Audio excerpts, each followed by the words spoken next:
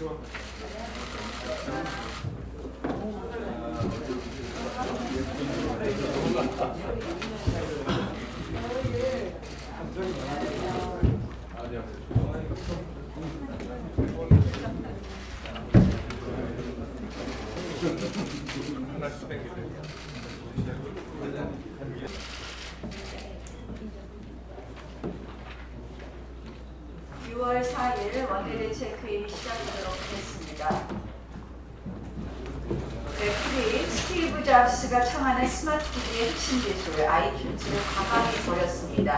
오늘날 아이폰 전성 시대를 연 핵심 축마저 스스로 파괴하고 미래로 나가는 혁신의 모습에서 우리의 정치, 우리 정부가 나아가야 할 길을 한번 생각해 봤습니다. 아, 그런데 문재인 대통령께서 어, 어제도 국회에 가시하셨습니다. 청와대를 전국 갈등 제조기로 만들고 있습니다. 하루라도 국회 탓을 안 하면 입안에 가시가 도는지 궁금합니다. 본인 북유럽 순방전에 모든 것을 끝내달라고 합니다. 대통령 일정에 국회가 맞추라는 그런 오만한 태도입니다. 이 정국이 지금 교통체증을 겪는 이유 바로 문재인 대통령께서 일으킨 대형 사고 때문입니다. 날치기 선거법 사고, 공수처 강행 사고 등으로 정치가 나아갈 길을 꽉 막고 선 대통령이 바로 우리 정치가 답답한 근본 원인입니다. 솔직한 심정을 하나 말씀드리겠습니다. 여차저차해서 국회가 열린다고 한들 과연 그 국회가 정상적 국회일지 청와대 심부름센터가 될지 민생 국회가 될지 총선 국회가 될지 걱정이 많이 됩니다. 국회의 문이 열리는 즉시 국민의 혈세가 쏟아질 것이고 상임위와 본회의 의사봉이 그저 청와대 심부름 이념법 통과를 위해서만 두드려지지 않을까 하는 걱정이 굉장히 많이 있습니다. 뭐 예컨대 추경안을 한번 보십시다. 추경안은 우리 이미 재해재난 추경은 재해재난 피해 주민들의 손에 쥐어지는 예산이 하나도 없다는 것을 알고 있습니다. 나머지는 총선용 SOC 예산이 있을 뿐입니다. 그리고는 현금 살포성 복지 예산이 있습니다. 그런데 이 추경을 위해서 또 3조 6천억 원의 국채를 발행해야 됩니다. 과연 이러한 추경이 제대로 심사되지 않고 또다시 민주당이 어, 요구하는 대로 어, 민주당의 일방적인 그런 요구대로 추경이 통과됐을 때 어, 결국 국민의 혈세가 또다시 낭비되지 않을까 그런 걱정이 됩니다. 탈원전으로 전력 수급 대란이 우려됨에도 불구하고 전기요금 누진제를 손보겠다고 합니다. 각종 선심성 현금 살포 계획이 국회 앞에 줄줄이 기다리고 있습니다. 기업을 옥죄는 수많은 악, 악법, 규제법들도 쌓여 있습니다. 국회 문이 열리는 즉시 이 나라를 골병들게 만드는 악법의 판도라 상자가 되지 않을지 걱정입니다. 우리 철강 산업의 양대 기둥인 포스코와 현대제철 고로가 가동 중단이라는 사상 초유에도 위기에 봉착해 있습니다. 이것도 우리 경제의 혈액이 멈춘 것이나 다름없습니다. 사실 이것을 어, 이, 이, 부분에 대해서 어, 이러한 것을 막기 위해서는 산업안전보건법 같은 것을 고쳐야 될 것입니다. 그러한 것이 국회가 해야 될 일일 것입니다. 어, 저희 당은 이미 국회가 열리면 해야 될 법안들을 이야기했습니다. 앞으로 국회 정상화 과정에서 이러한 법안들에 대한 이야기도 좀 나눠보려고 합니다. 그렇지 않고는 제가 아까 말씀드린 것처럼 이것이 민생국회가 안 되고 총선형 국회 또 돈풀기 국회가 될 수 있기 때문입니다. 다시 한번 말씀드립니다. 청와대가 나설수록 국회가 꼬입니다. 청와대는 국회가 자율적으로 정말 민생 국회가 될 수 있도록 도와주십시오. 그리고 국회가 어, 제대로 정상화될 수 있도록 민주당의 원내 지도부를 청와대가 놓아주실 것을 다시 한번 촉구합니다. 국회의장 독대 당시에는 그저 오지랖이 넓, 오지랖 정도로만 생각했습니다만 국정원장 호출해서 우리는 북풍과 관건 선거에 uch임을 읽었습니다. 그리고 이번에는 급기야 박원순 서울시장과 이재명 경기지사를 차례로 만나- 만났습니다. 몰래 뒤에서 나쁜 행동을 하다가 들키더니 이제는 아예 대놓고 보란 듯이 합니다. 문재인 대통령이 보낸 사신 노릇을 제대로 하고 있습니다. 박원순 시장, 이재명 지사가 청와대 말을 잘 듣는지 내년 총선에 잘 협조할 것인지 살펴보라는 대통령의 특명이라도 받아든 것 아닌지 싶습니다. 국회 수장에 이어 정보기관 수장을 만나더니 이제 수도권 수장들까지 모두 훑는 양정철 원장 한마디로 온 나라를 친문 정멸시키겠다는 것 아닌가 하는 우려입니다. 오직 문재인 대통령만 어, 늘 어, 오, 오직 문재인 대통령만 떠받들겠다는 문주연구원장 다운 참으로 어, 오만한 행보 아닌가 이런 생각이 듭니다. 이제 국민 혈세로 운영되는 지자체 연구기관마저 정당 공약, 선거 전략을 짜는 데 동원하려고 합니다. 겉으로는 업무 협약을 내세우고 있습니다. 함께 정책 개발을 하겠다고 합니다. 그런데 정책 개발이 아니라 공약 개발로 보이고 업무 협약이 아닌 총선 협약으로 보입니다. 국정원장 미래 당시 북풍 관건 선거를 모의한 게 아니냐라는 거센 비판과 논란은 거들떠 보지도 않고 이제 눈치 보지 않고 의식하지 않고 대놓고 각종 기관을 선거에 동원하겠다는 것으로 보입니다. 우리 국민들은 우리 국민들이 왜 아무런 민주적 정당성도 없는 특정 정당 싱크탱크의 수장이 청와대 정무특보 마냥 전국을 활보하는 것을 바라만 봐야 하는 것인지 답답합니다. 국민의 심판 따위는 두렵지 않는 그런 모습 아닌가 이렇게 생각합니다. 양정철 민주연구원장의 이 부적절한 행보들에 말 한마디 못하는 여당의 부끄러움이 여당을 어렵게 만들고 여당을 몰락하게 하는 기폭제가 될 것입니다. 어제 한미 어, 그 미국 국방장 세나헨 국방장관 대행이 와서 한미 연합사 평택 이전 합의했습니다. 그리고 이따 이 위원장께서 한 말씀하실 것 같은데 저는 어, 지금 이제 이 미국 측이 사실은 어, 이 연합사의 용산 어, 잔류를 희망했었던 것으로 아- 알고 있습니다. 그런데 결국 양국 정부가 어, 이전에 합의했습니다. 북한의 위협이 아직도 존재하는데 인대철선을 이렇게 남하하는 것이 과연 어, 대한민국 안보에 우려가 없는 것인지 매우 우려스럽다는 말씀을 드리면서 이 과정에서 과연 한국 정부와 미국 정부가 제대로 소통했는지 어, 자유한국당이 좀 살펴보겠다라는 말씀을 드리겠습니다.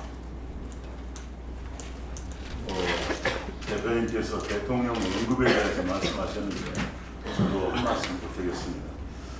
어, 여야 원내대표가 회동을 갖고 국회 정상화를 위한 막바지 어, 협상이 한창 진행 중입니다.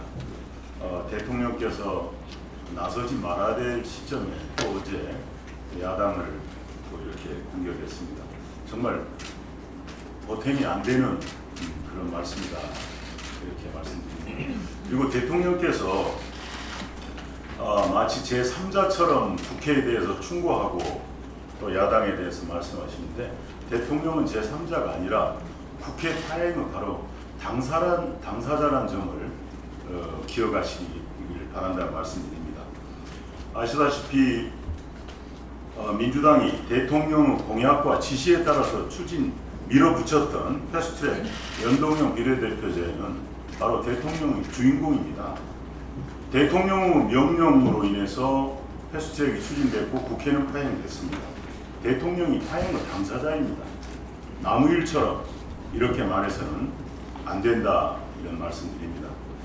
아, 또 어, 여야 협상 중에는 어, 정말 여당에게 많은 재량권을 주고 여당이 충분히 어, 대 야당과 교섭할 수 있는 그런 여지를 주시는 게 필요하다. 지금 여당이 여당답지 못합니다. 어, 여당이 제 역할을 못하기 때문에 이런 국정 실패에 대해서도 아무런 비판의 목소리 못 내고 있습니다.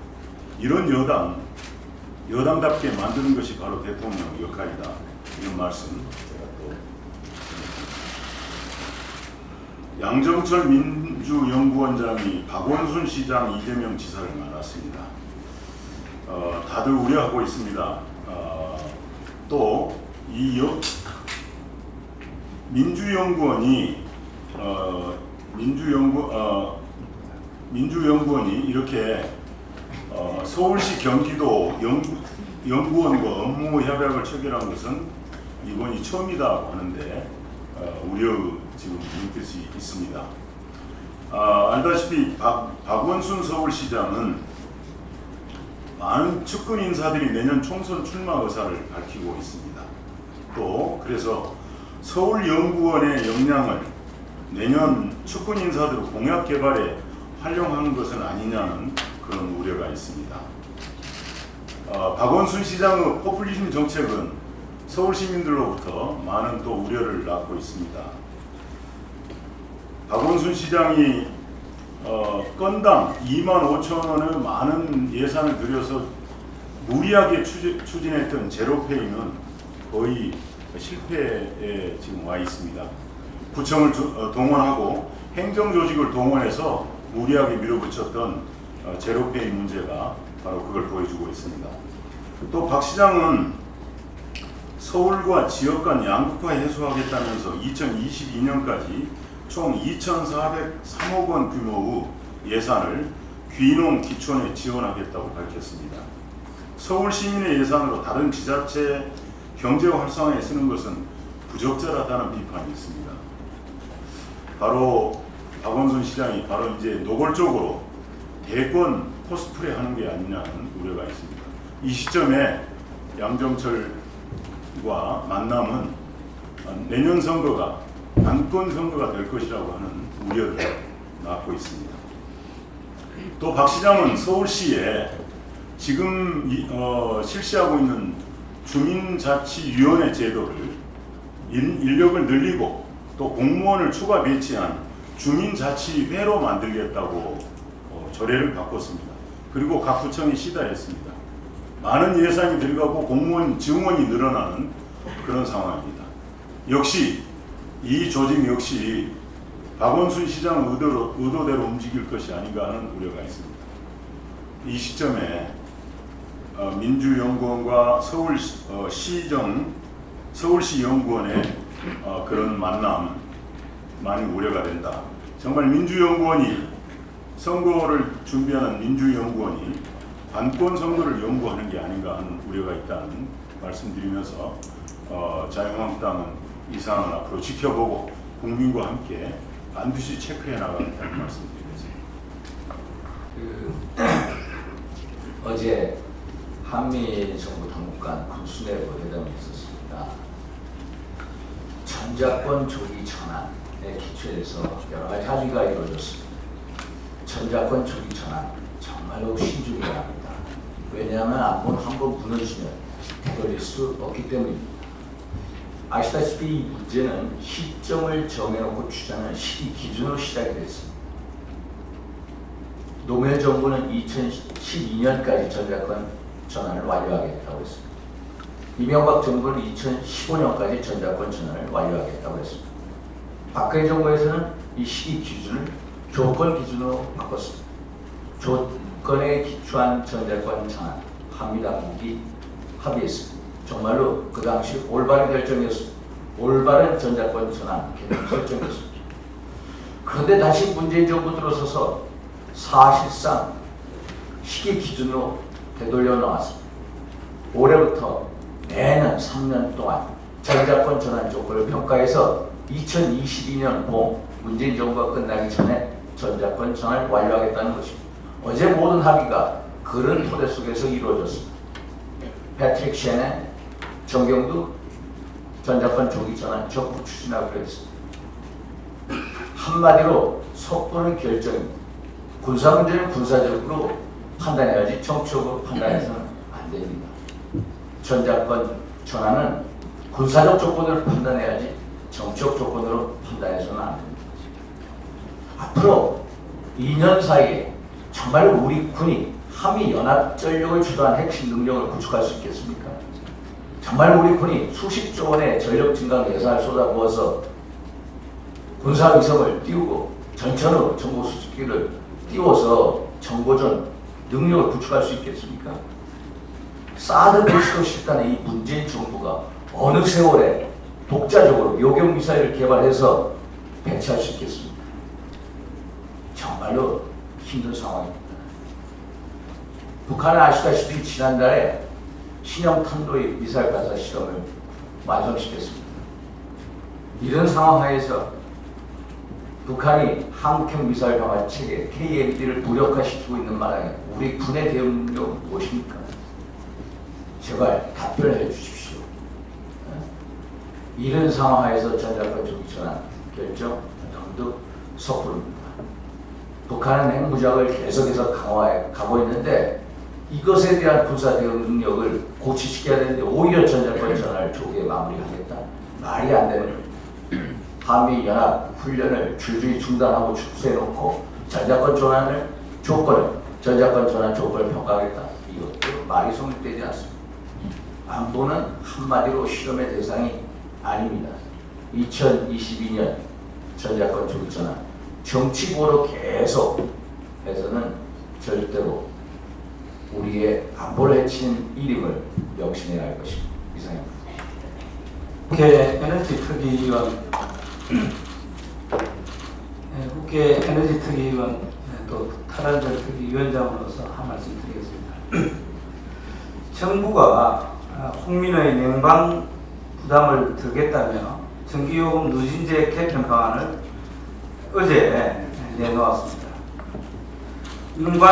테, 테스크포스가 제시한 개편안은 이러한 누진 구간을 확장하는 것이고 이해하는 누진 단계를 3단계에서 2단계로 축소하는 안입니다.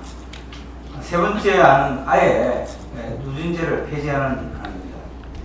이에 따르면 누진제 개편으로 한국 전력이 연간 부담해야 할 액수는 지난해 여름 기준으로 어, 1안으로 했을 때 2,847억, 2안 1,911억, 4만 2,985 거의 3천억에 달합니다. 잘 아, 아시다시피 한국전력은 문재인 정부의 탈원전의 직격탄을 맞고 원래 1월부터 3월까지 1분기 동안 사상 최대 6,300억 원의 적자를 기록했습니다. 그러나 정부는 유진제 개편에 따른 재원 방안 마련 책은 전혀 내놓지 않고 한전에 에, 부담을 떠넘기고 있습니다. 그야말로 에너지 공기업이 골병을 지금 들고 있습니다. 그렇지만은 한전을 비롯한 발전사들은 전혀 꿀먹은 벙어리가 되면서 지금 주식이 3분의 1로 완전 결단이 나고 기업 자체가 부도 위기에 몰려도 말 한마디 하지 못하고 있습니다. 정말 용납할 수 없고 국민의 이름으로 하지 않을 수 없습니다. 이에 본 의원은 정부에 강력히 몇 가지를 요구합니다. 첫째, 한국전력과 자회사 등 발전공기업 10곳이 문재인 정부 탈원전으로 2년 만에 영업이익이 10분의 1로 완전히 줄었습니다. 작년에도 1조 원의 적자를 기록했습니다. 도대체 공기업 적자 부채 문제를 어떻게 해결할 것인지 답해 주시기 바랍니다. 둘째, 저희 당이 추진했던 탈원전 반대 서명자가 47만 명에 육박하고 있습니다. 탈원전 반대와 신한울 3, 4기 건설 체계 이 여러 같은 서명에 대해서 왜 청와대는 답을 하지 않습니까? 20만 명이 넘으면 청와대가 답하게 되어 있는데 청와대는 입이 없습니까? 왜 산업 통상 자원부로 또 넘깁니까? 근데 왜 산업 자원부는 또 답을 하지 않습니까? 용납할 수 없고 국민을 무시하는 이 태도 정말 국민의 이름으로 규탄하지 않을 수 없습니다. 세 번째, 어제 전국 51개 대학 교수, 에너지 관련 교수 217명이 참여한 에너지 정책 교수 협의회는 경주 월성 1호기를 재가동하라는 성명을 내고 정부의 조치가 없으면은 감사원 청구를 청구하겠다고 합니다. 정부는 도대체 이 문제에 어떻게 생각하는지 답해야 합니다. 월성 1호기 조기 폐로를 결정한 당사자를 색출해서 법적인 문제, 경제적 피해에 대한 부상권을 요구합니다. 넷째, 탈원전 정책을 둘러싼 여야 간 공개 토론을 제안합니다. 이 존경하는 언론인 여러분, 왜 언론인 여러분들은 이러한 제안 수없이 했는데 공개 토론, 그 흔한 TV 방송 토론을 한번 추진해 주지 않습니까? 다시 한번 간곡히 언론인 여러분께 요구합니다. 문재인 정부의 잘못된 탈원전 정책이 가정과 기업을 지금 파괴하고 있습니다. 이 절제절명의 탈원전 정책에 대해서 어느 나라의 말이 맞는지 생방송 토론을 오늘 꼭 회사에 들어가시면 데스크에 요청해서 공개 토론을 좀 해주시기를 바라고 저희 당은 언제라도 여기에 응하, 응- 응하겠다는 말씀을 드립니다. 이상입니다. 그리고 홍남기 경제부총리의 경제인식 그리고 최저임금에 관련해서 말씀 드리겠습니다. 최근 어, 경제부총리가 한국 경제가 어, 위기라는 지적에 전혀 동의할 수 없다 이렇게 이야기를 했습니다.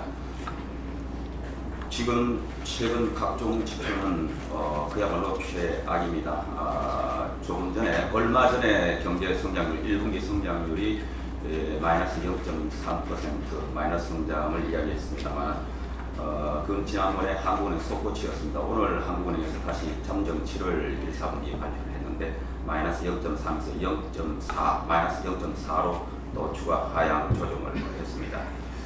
아시다시피 수출도 6개월째 마이너스를 기록하고 있고 4월 경상 수지는 7개월 만에 적자가 예상되고.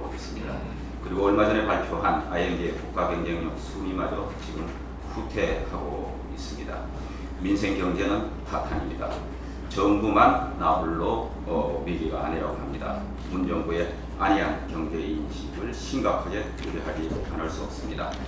지금이라도 당장 정책을 다시 살펴보시고 소득 주도 성장 등 경제 정책을 에, 계기를 하고 경제 정책의 전면 대전환을 촉구합니다. 그리고 최저임금을 동결하거나 인하해도 모자랄 판에 문재인 정부는 여전히 최저임금 인상을 이야기를 하고 있습니다. 금년 초에 최저임금 산정 계산 방식을 변경함에 따라서 금년부터는 주유수당을 포함하면 소상공인과 어, 영세 자영업자가 부담하는 사실상의 최저임금은 벌써 원래 1만 원을 넘었었습니다. 만 30원입니다. 2020년 최저임금 1만 원 공약이 1년 앞당겨진 올해 벌써 실현이 된 것입니다. 그래서 대통령께서 혹시 최저임금 1만 원 공약에 집착하지 마라 이렇게 말씀하신 거 아닌가 생각이 됩니다. 이미 그 공약 다 실천됐으니 실현됐으니 더 이상 신경 쓰지 말라고 말씀하신 거 아닌지 의문입니다. 여기에다 아, 청와대 측이 언급한 대로 어, 내년 최저임금을 4% 인상을 하게 되면 430만 명의 근로자에게 금년에 추가로 최소 3조 원, 많게는 17조 원의 임금을 올려줘야 됩니다. 이 돈 누가 부담합니까? 또 문재인 정부가 국민 혈세 털어서 임금 보전해 주려고 하십니까? 최저임금은 고용주가 부담하는 것입니다. 이미 쓰러져 있는 소상공인과 자영업자의 발목에 또다시 모래주머니를 채우겠다는 것입니까? 얼마나 많은 국민들을 일터에서 거리로 어, 내몰고 나서야 최저임금을 중단하려고 하시는 겁니까? 지금 필요한 것은 최저임금의 감속이 아니라 스톱시키거나 후진하는 것입니다. 최저임금 인상은 기업이 감당할 수 있는 적정 수준으로 올려야 한다고 하는 것이 우리 당 의원들의 기본 인식이고 당의 에, 방침입니다. 그러나 이미 지난 2년간 급격한 최저임금 인상으로 인해- 인해서 앞으로 5년간 올려야 될 임금을 지난 2년간 다 올려온 것입니다. 문재인 정부에 촉구합니다. 파탄난 서민 경제를 살리고 흔들리는 대한민국 경제를 살리겠다면 최저임금 인상을 포기하시고 동결 또는 인하를 적극 추진해 줄 것을 강력히 요청합니다. 이렇게 해야 근로자도 살고 중소기업인 자영업자가 모두 살 수 있는 한국당 과학기술정보방송통신위원회 간사 아, 김성태 의원입니다. 아, 청와대는 어제 연합 뉴스에 대한 재정 보조금 폐지 청원에 대한 답변을 내놓았습니다. 주 내용은 청와대는 법대로 잘 하고 있으니 재정 보조금을 폐지하려면 국회에 요구하라 라는 내용으로 요약할 수 있습니다. 문재인 정부의 국회 탓, 야당 탓 책임 떠넘기기 DNA가 다시 한번 발현되는 순간입니다. 100번 양보해서 연합 뉴스에 대한 재정 보조제도 폐지는 국회 논의가 필요한 입법 사항이라고 할지라도 제도 운영의 책임은 오롯이 정부에 있습니다. 뉴스통신진흥에 관한 법률 제19조에 따르면 연합뉴스사 구독 계약을 체결하는 경우 정부는 매출액, 물가 상승률, 경제 성장률 등을 고려하여 판매 조건, 구독료 또는 요율 등을 결정할 수 있습니다. 그리고 이는 대통령령에 위임한 바와 같이 기재부 장관의 협의를 거치도록 하여 매년 300억이 넘는 연합뉴스 재정 보조금 칼자루는 정부가 쥐고 있음이 명확합니다. 그럼에도 청와대는 정부 책임은 회피한 채 보조금 제도 폐지는 국회 몫이다. 연합뉴스는 각국의 노력이 필요하다. 문재인 정부 차원의 원칙적 감독과 집행에 나갈 수 있는 뒷받침하겠다. 라면서 마치 강 건너 불구경하듯 답변하는 모습에 국민들은 허탈감을 감출 수 없게 되었습니다. 한편으로 청와대가 연합뉴스 불공정 바로잡기의 미온적인 이유는 정부의 연합뉴스 장악이 끝났음, 끝났음을 나타내는 바로미터라고 볼 수가 있습니다. 정부는 연합뉴스 TV, YTN 보도 채널은 그대로 둔채 종편 PP만 의무 송출 대상에 제외하는 방송법 시행령 개정 작업을 추진함으로써 보도 채널 길들이기에 공을 들였고 보도 채널은 정부 여당 편향 보도로서 화답하고 있음을 모든 국민이 알고 있습니다. 청와대는 청원 답변에서 언론의 제 역할과 지향해야 할 가치를 다시 한번 상기시켜 주신 국민 여러분께 감사드린다고 밝혔습니다. 언론 장악을 껌바친 정부의 대연자약한 거시세대에 자유한국당과 국민은 함께 분노를 금치 못하고 있습니다. 과학기술방송통신위원회와 문화체육관광위원회가 함께 연합뉴스 등 뉴스통신사뿐만 아니라 언론의 공정성과 공적 책임 확보의 확보를 위해서 문재인 정부가 끝까지 맞서 싸울 것임을 밝힙니다.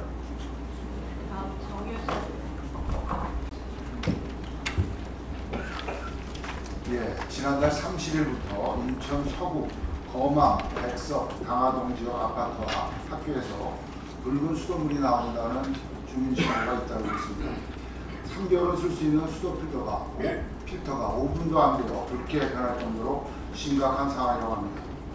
주민들은 이 수돗물로 아기 이무식을 만들고 목욕을 시키는데 시민 다수의 항의가 있기, 전까, 있기 전까지 문자 발송 등 제대로 된 안내조차 없었다고 분통을 터뜨리고 있습니다. 붉은 수돗물로 주민들을 불안해 주민들은 불안에 떨고 있지만 인천시 상소사업본부 측은 기준에 적합하다는 말만을 하고 있습니다. 현재 가구마다 생수 몇 병 지원한 것이 전부라고 합니다. 제대로 된 진상규명이 이루어져야 할 것이며 추후 피해 보상에도 성실하게 나서야 할 것입니다. 우리 당은 정부의 대응만 지켜볼 수 없기 때문에 당 안전안심 365 특위에서 이 사안에 대한 진상을 규명하고 주민들이 안심할 수 있도록 지- 챙기도록 하겠습니다. 아, 좀, 좀 전에 대표님께서 말씀하셨는데 고로에서 대기 오염 물질을 방출했다는 이유로 현대제철 당진제철소, 포스코 광양제철소, 포항제철소가 열흘간 조업정지 처분을 어, 당했습니다. 이것은 기업에 대한 징계가 아니라 회복이 힘든 타격을 가하는 것으로 지나친 일입니다. 해당 기업으로선 당장 수천억 손실이 불가피하고 국내 연관 산업에도 막대한 타격을 끼칠 것입니다. 세계, 세계 철강 협회에 따르면 다른 나라에서도 고압가 가스를 방- 방출하지만 우리처럼 문제를 삼은 적은 없다고 합니다. 산업 현장의 안전과 오염 방지는 모두가 주의하고 지켜야 하지만 지나친 기업 부재로 국가 경제에 타격을 주지 않도록 정부는 신중히 대처해 주시기 바랍니다. 7년 5월 10일 어, 대통령 선거 다음 날입니다. 청와대는 한미 정상 첫 통화를 했다. 한반도 안보 위기 해결 위해서 긴밀히 협력하기로 했다. 이런 시일 내에 정상회담을 할 것이다. 그리고 어, 2017년 9월 18일 다시 어, 한미 정상 통화 브리핑을 합니다. 북한의 미사일 발사에 대해서 논의를 했다. 두 정상은 다음 주 유엔 총회 막바지에서 만날 것이다. 그리고 2017년 12월 1일 문 대통령과 트럼프 시냐 1시간 동안 통화를 했다. 이틀에 걸쳐 80분 통화를 했다. 문 대통령께서 육해공 대응 타격 등을 설명했다.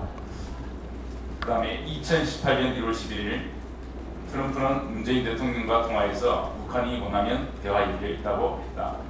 아, 등등 지금까지 한미 통화를 한 것이 보도된 것이 한 25회 전후가 된 것 같습니다. 그러니까 한 달에 1회 정도 볼 어, 통화를 했고 그 내용이 다 공개가 됐습니다. 강효상 의원이 공개한 내용, 트럼프 대통령과 문재인 대통령 간의 통화 내용, 당연히 국민들에게 알려야 할 내용입니다. 그리고 그 내용이 정상회담에 관해서 어, 논의를 했다. 한국이 요청했지만 미국이 응하지 않았나? 이것이 뭐 그렇게 큰 어, 정말 알려서는 안 될, 국민들에게 알려서는 안 될, 국제적으로 알려져서는 안 될 국가적인 기밀이며 이것이 얼마나 큰 그 죄를 지었다고 할 수 있는지 정말 의문입니다. 아, 반면에 일방적으로 통보를 어, 의원은 지난 5월 31일 어, 정부가 다음 주에 국제기구를 통해 5만 톤을 지원할 예정이라고 했습니다. 본인이 지원하는 것이 아니고 정부가 지원할 예정이다. 서른은 식량 부족으로 어려움을 겪는 북한 사람이 천만 명 수준이고 중분기가 지나면 위태로운 수준이 될 것으로 전망한다. 5만 톤을 지원해도 북한 식량 부족을 해결하려면 145만 톤이 부족하다. 북한이 가장 필요로 하는 5월에서 9월을 넘겨서는 안 된다. 이것은 어떤 통일부 등의 그런 전문적인 정부로부터 정확한 정보를 얻지 않으면 발표할 수 없는 개인적으로는 알 수 없는 그런 내용입니다. 이에 대해서 민주당에서는 서른원 발언에 대해서 기자들에게 아직 논의가 진행 중이라며 해당 내용을 보- 보도하지 말아 달라고 했다. 아직까지 정확히 결정하지 않, 되지 않고 내부에서 논의되는 그야말로 어, 기밀 사항이라고 생각이 됩니다. 그런데 에, 서른은 그 내용, 규모, 규모 등을 특정을 했는데요. 통일부에서 대북 식량 지원 이 논의되는 그런 구체적인 시점과 방법, 규모 등을 어, 미리 이 제보받았다고 할 수밖에 없습니다. 그리고 어, 이 내용은 사실 이 내용이 공개될 경우에 유엔과 미국, 일본 등 북한의 핵무기 보- 보유 및 탄도미사일 발사 등으로 국제적인 제재를 원하는 나라, 관련된 나라들에게 당연히 그 알아야 될 사안이고 사전에 협력해야 될 사안. 이런 그 중대한 기밀을 누설한 서른 의원 등 여권 관계 인사들에게 대해서는 아무런 책임이나 조사도 하지 않고 당연히 알려야 될, 될 내용을 국민들에게 알린 이 야당 국회의원에 대해서는 감찰을 하고 고발까지 하는 아, 이런 일이 벌어졌습니다. 이런 서른 의원뿐만 아니라 정청래 전 의원, 문정인 특보 등 이런 분들도 다 국가적인 기밀을 누설을 했습니다. 이에 대해서 당연히 청와대가 늘 하듯이 휴대폰을 압수하고 내부 감찰을 하고 고발을 해야 될 것입니다. 그래서 이러한 상황에 대해서 저희 당에서 어, 서른 의원, 정청래, 정인 등에 대해서 고발을 하기로 결정을 하고 고- 고발할 예정을 알려드립니다. 아, 정말 정말 잘했습니다. 말로만 일자리 정부를 표방해왔던 문재인 정부의 실상이 출범 2년 지나면서 구체적인 수치로 속속 나타나고 있습니다. 금년 1, 4분기 들어서 0.4% 마이너스 경제 성장률을 보이고 있습니다. 거기에다가 또 수출 6개월 연속 마이너스를 보이고 있습니다. 우리의 대한민국 경제를 이끌어온 수출에 구멍이 나기 시작한 겁니다. 그동안에 우리 주도 품목이었던 반도체, 석유, 철강, 어, 그리고 디스플레이 등 20대 주요 수출 품목의 중에서 15개 품목이 마이너스를 기록하고 있습니다. 바로 이러한 현상들은 어, 최근 발표된 스위스 국제경영개발대학원 IMD의 국가 경쟁력 순위에서 나타나고 있습니다. 우리나라 2019년 그 IMD가 발표한 국제 국가 경쟁력 평가에서 28위로 한 계단 또 추락을 했습니다. 어, 구체적인 내용을 보면은 기업의 효율성은 무려 9계단이나 상승을 했습니다. 반면에 우리 정부의 어, 효율성은 2계단이 하락했습니다. 정부가 오히려 주도해서 나라를 살려도 부족한 판에 기업은 이렇게 펄펄 날아가고 싶은데 정부가 두 계단이나 하락하면서 이렇게 나라 경제를 망치고 있습니다. 그동안 우리 우리 말씀드린 대로 소득주도 성장이라는 황당한 정책으로 우리 경제를 망가뜨리고 있습니다. 우리의 먹거리 수출까지도 지금 이렇게 먹구름을 들이고 있습니다. 바로 이 잘못된 정책으로 인한 경제 파탄, 민생 도탄, 세금 폭탄 이 3탄의 허덕이는 우리 대한민국 경제 다시 한번 근본적으로 정책 전환해서 해결해야 됩니다. 우리 자유한, 자유한국당 반드시 우리 대한민국 민생 살리기 위한 투쟁 더 강력히 하겠습니다. 이 정부 잘못된 거 인정하고 스스로 오만과 불선 버리시기 바랍니다. 이상입니다. 지금부터 비공개로 하겠습니다. 비공개 전환하겠습니다.